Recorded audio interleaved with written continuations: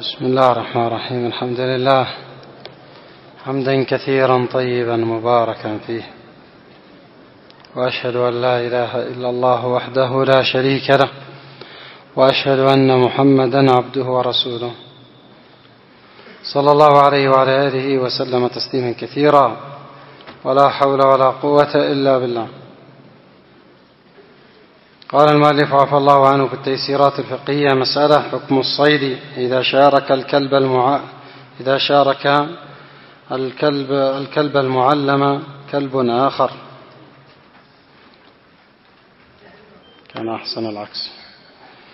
إذا شارك الكلب الكلب المعلم, كلبا آخر. لو كان الكلب المعلم مفعول به أحسن.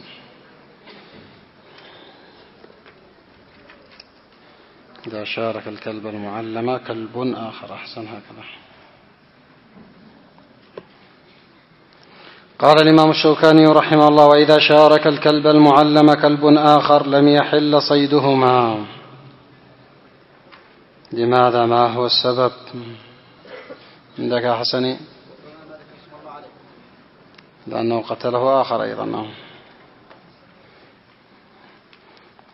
فذاك الذي ليس بمعلم لا تحل لا يحل صيده. ولا تدري أيهما الذي أجهز عليه. قد اشترك. وأنت لا تدري أيهما أجهز على الصيد. قال إذا قال الشارح عفى الله عنه إذا أتيت إلى الفريسة فوجدت كلبك المعلم مع كلب آخر على الفريسة فلا يحل لأنك لا تدري أيهما قتله. ولأنك سميت على كلبك ولم تسمي على الآخر.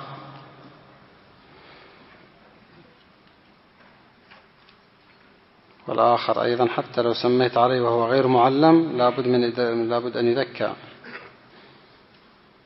كما سيأتي في الحديث وإذا أرسلت كلبك الذي ليس بمعلم فأدركت ذكاته فكل.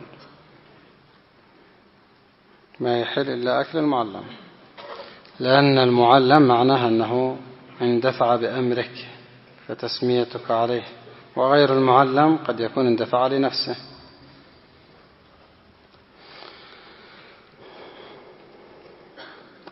مسألة حكم الصيد. إذا أكل منه الكلب المعلم قال الإمام الشوكاني رحمه الله وإذا أكل الكلب المعلم ونحوه من الصيد لم يحل فإنما أمسك على نفسه. قال الشارح الله عنه قول وإذا أكل الكلب المعلم ونحوه من الصيد لم يحل احتمال أن يكون أمسكه لنفسه. قوله ونحوه أي من المعلمات الأخر كالصقر أو ما أشبهه.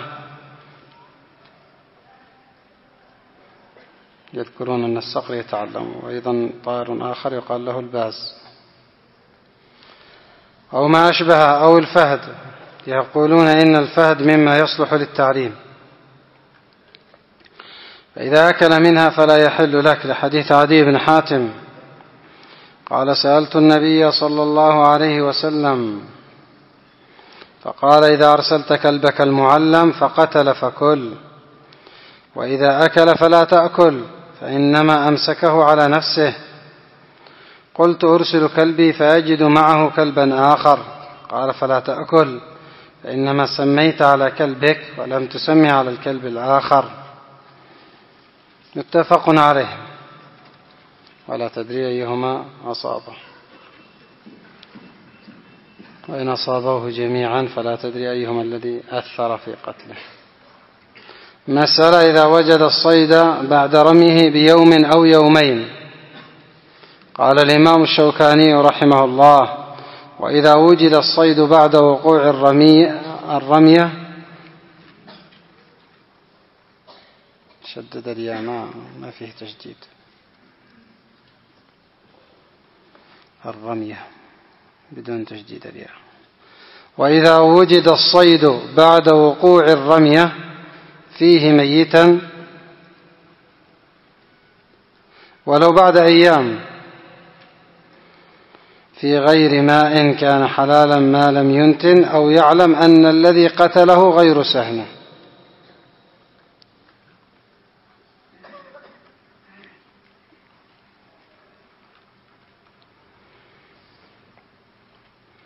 قال الشارح عفى الله عنه جاء ذلك في حديث أبي ثعلب الخشني وجاء أيضا في حديث عدي بن حاتم هذان حديثان أصل في باب الصيد.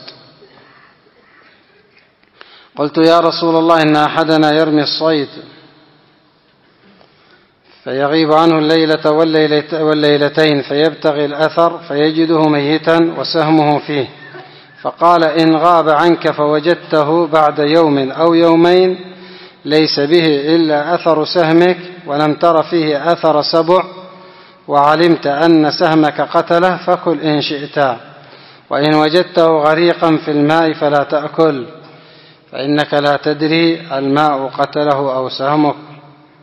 وفي مسلم عن أبي ثعلبة عن النبي صلى الله عليه وسلم في الذي يدرك صيده بعد ثلاث فكله ما لم ينتن. إذا إذا وجد صيده بعد يوم أو يومين وليس فيه إلا أثر سهمه كان حلالا ما لم ينتن أو يعلم أن الذي قتله غير سهمه كأن توجد كأن توجد آثار أخرى غير كأن توجد آثار أخرى غير سهمه كأن يكون غريقا في الماء أو وجده بعد الرمي وقد تردى في أسفل الجبل أنه لا يدري أقتل بسهمه أو بترديه أو ما أشبه ذلك فهذا محرم. مسألة إذا أصيب بالسهم فتقلب في غير شاهق. الجواب الظاهر أنه من أثر الرمية والأغلب على الظن قتله بالسهم نفسه والله أعلم. مسألة متى يطلق على الحيوان أنه صيد مباح؟ الجواب إذا كان مما يباح أكله. وغير مملوك لآخر متوحشا وليس بإنسي فيطلق عليه صيد. أما الإنسي ما يطلق عليه صيد. ما يصيد بقرة إنسية ويقول صدتها. ما يطلق عليه صيد إلا المتوحش. معنى المتوحش النافر من النافر الذي ليس مستأنسا بالإنسان يفر منه.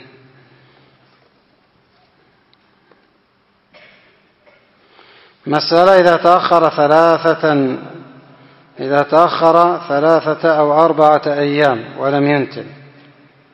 الجواب الظاهر أنه ما يتأخر إلى أربعة أيام بدون أن ينتن إلا أن يكون في أماكن باردة في أماكن باردة. فالظاهر أنه يحل ما لم ينتن حتى ولو مكث أربعة أيام أو خمسة. مسألة بعض الرصاص ليس لها حد. الجواب ذكروا هذه المسألة وهو ما يرمى بالأحجار. أو كان يطلق عليه بالبندق ولعلها أخذت في التسمية عند المتأخرين من ذلك. كان الحجر المدور يقولون فيها بندق. قالوا إذا نفذت وخرقت وأنهرت الدم فهو فهو مباح. فهي مباحة أي الجثة لكن أحسن فهو مباح. الصيد. وإن قتلت الصيد بثقلها وشدة ضربها فهو من الموقوذة. كذلك ما يسمى بالمخذف.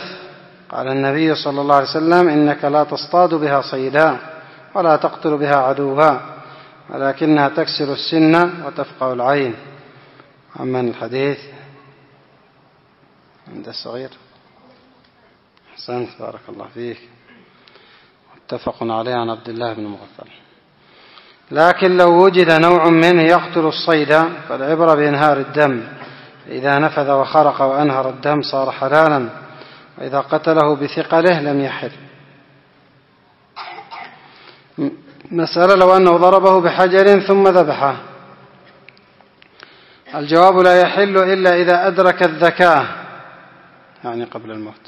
قال الله عز وجل إلا ما ذكيتم إذا رماه بمثقل ثم أدرك ذكاته قبل أن يموت فهو مباح.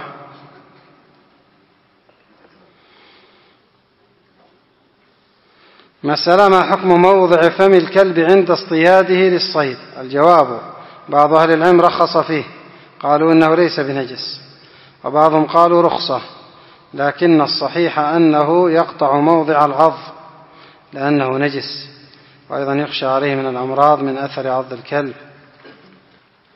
الموضع الذي أصابه الكلب يجعله للكلب. يكافئ الكلب.